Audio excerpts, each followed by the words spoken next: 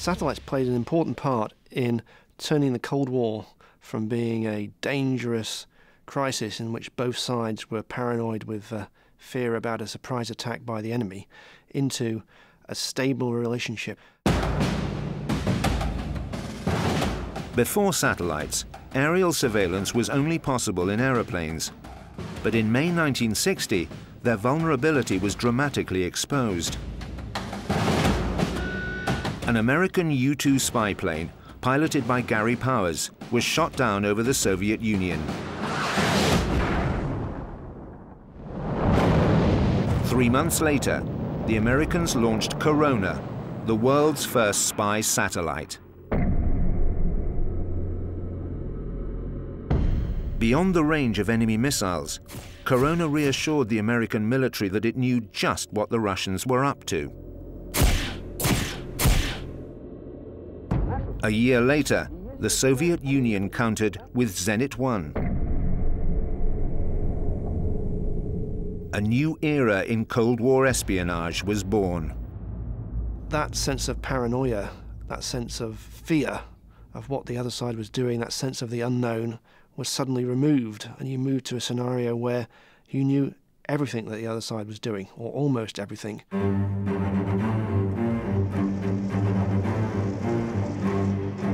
But spying was not the only area to benefit from satellite technology. Space promised the military much more. At the heart of the Cold War, the scenario involved firing hundreds of thousands of missiles over the North Pole. If you look at the surface of the globe, if you're firing an intercontinental ballistic missile, the shortest point between Moscow and Washington is over the top, not round the globe.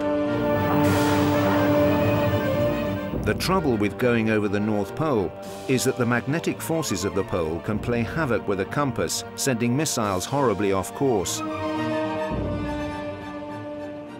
So the American, and the Russian military looked at trying to find a way to get round this, and using satellite-based navigation was one way to do it. In 1978, the Americans launched their solution, the Global Positioning System, or GPS. At the heart of the GPS system are 24 satellites, each constantly broadcasting the time and data about their location. Back on Earth, a GPS receiver can pick up these broadcasts. By calculating the distance between it and at least four satellites, the receiver can work out its precise location to within a meter. By putting a GPS receiver in a nuclear warhead, missiles could be guided accurately over the North Pole.